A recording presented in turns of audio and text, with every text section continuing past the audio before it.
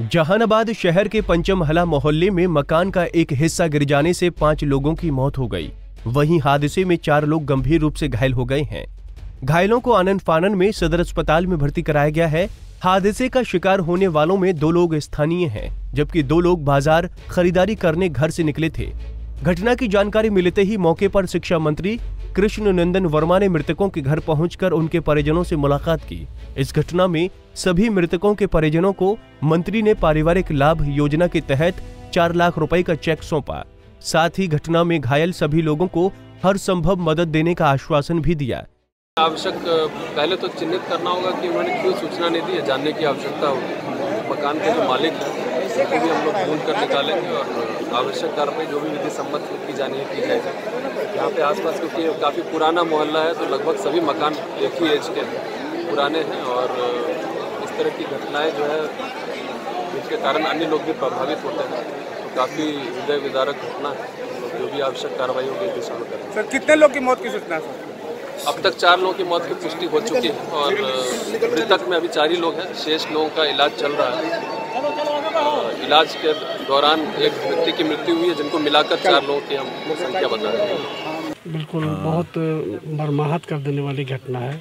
हम सब लोग दुखी हैं। ये खालिशपुर में ये अरविंद यहाँ के रहने वाले हैं, जो कस्तूरबा में काम करते थे और वहाँ किसी काम से गए हुए थे। उस दुर्घटना के शिकार हो गए। बहुत ही दुखद है इनके परिवार की जो स्थिति देखा। तीन छोटी छोटी बच्ची है। और इनकी पत्नी भी थोड़ा अर्धविच्छित जैसी लगी। हम जिला प्रशासन को धन्यवाद देना चाहते हैं कि घटने पर घटना स्थल पर तुरंत पहुँचा, पहुँचे लोग, राहत कार्य में सहयोग किया और मृतक के परिवारों को तुरंत चार चार लाख का चेक वितरित किया गया। डीएम और दूसरे पदाधिकारी सब उपस्थित रहे। जिला प्रशासन ने बड़ा सराहनीय काम किया है। और मैं इस गाँव में आकर उस परिवार से मिला। काफ़ी दुखी हूँ। हम लोग जितना हो सकेगा इसकी मदद करेंगे। उनके बच्चे के भविष्य के लिए चूँकि। हाँ उसके लिए हम लोग सोच रहे हैं। उसका तो पढ़ पढ़ रही है उसका कस्तूरबा में ही एडमिशन कराने का प्रयास किया जाएगा।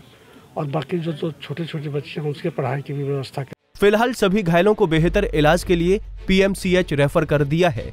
जहाँ मंत्री कृष्ण नंदन वर्मा ने मिलकर सभी घायलों से मुलाकात की और बेहतर इलाज का आश्वासन दिया। पंजाब केसरी टीवी के लिए जहानाबाद से मुकेश कुमार की रिपोर्ट।